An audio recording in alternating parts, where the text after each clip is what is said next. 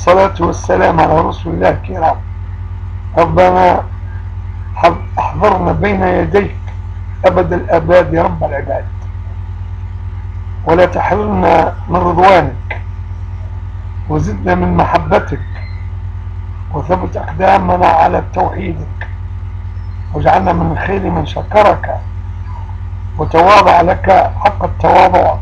آمين يا رب العالمين. أما بعد السلام عليكم ورحمة منه وبركاته ورحمة ما زلنا الحديث بفضل الله تعالى وتوجيهاته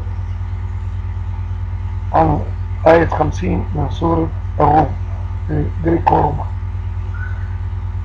فانظر حبيب يشير إلى حبيبه. رب كريم أو حد واحد صمد يخاطب من هو أرسل رحمة للعالم فانظر إلى آثار رحمة الله. كيف تقول الإسلام قوة وغطرسة وعنجوية منين؟ إذا كان ربي يتكلم على رحمة يتكلم عن رحمته إذا كان ربي عزيز لأنه لا يقع كخلق وكسيد مطلق.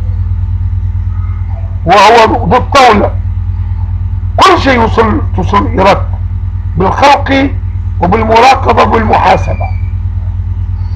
هذه هذا راجع إلى عز الله أما أن نكون من الظالمين فلا.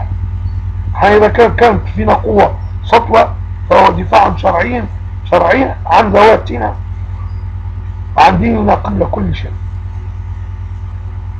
فانظر إلى آثار رحمة الله كيف يحيي الأرض بعد موتها.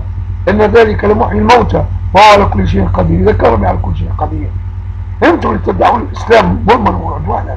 قولوا صلاة أنتم متكبرون. لذلك لا تتقنون الصلاة على النبي عليه السلام. فيكم جاهلية عمياء رقطاء والعياذ بالله. إذا ننصحكم أن تنزعوا عنكم هذا اللباس الخبيث الشيطاني الذي لا يقدر كلمة ذكر الله باسم الله يقدر رسول الله صلى الله عليه وسلم. حين يذكرون صلاة صلاة الله صلوات الله على خير العباد عند الله. ده كان مش واضعهم وأبيتم إلا العجرة وسوء الأدب مع الله. تعلم أن الله قادر أن يذلكم ويصومكم سوء العذاب. وإذا كان أنتم ناس اسمه ياسر الصهاينة هذا مش غريب. لأنكم أنتم وياهم توليد في اليد واللي تشير به جموع الصهاينة أنتم أول الناس تمشيوا إلا من رحم ربنا. أهل القرآن حقا. هم الرافضون لهذه التبعية لا تبعية إلا لرسول الله عليه الصلاة والسلام. الهادي إلى سبل السلام. والذي باتباعه نكون من آه من خير الأنام. ونحن عز أهل عز وعزة وسؤدد وأهل توفيق الدنيا ونجاة الآخرة وخلود في جنات النعيم. والسلام على من اتبع الهدى هدى رب العالمين.